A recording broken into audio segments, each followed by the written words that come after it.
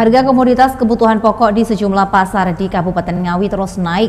Kenaikan tertinggi terjadi pada cabai rawit dan tomat yang kenaikan harganya mencapai 100 persen.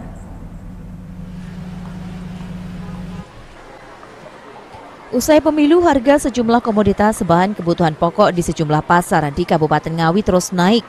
Hal ini seperti yang terjadi di Pasar Besar Ngawi. Di pasar ini, kenaikan harga tertinggi terjadi pada cabai rawit dan tomat yang kenaikannya mencapai 100 persen.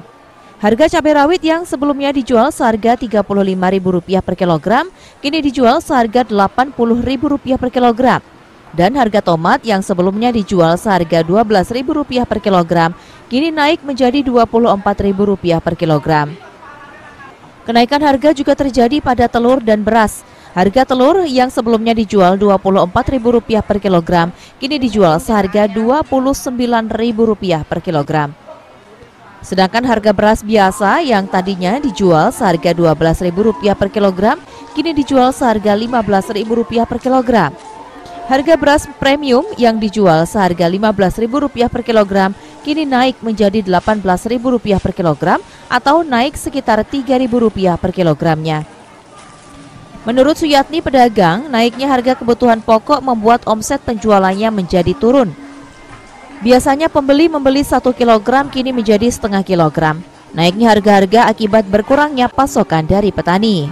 Sama telur, terus sama tomat. Tomat ya? Ya. Tomat sebelumnya berapa bu? Sebelumnya udah lama tapi, tapi pak, oh. yang sebelumnya dari harga 12.000 sekarang mencapai 24. Kalau ini telur? Nah, telur. Telur sekarang 29 dari harga sebelumnya 24 oh cabai sebelumnya termurah berapa? Termurah 35 40 sekarang mencapai 70 80 naik mbak ya, ya. penyebabnya apa naik mbak? Penyebabnya kurang pasokan pak. Mbak dengan naiknya harga-harga ini? Nah, sedikit menurun pembelinya.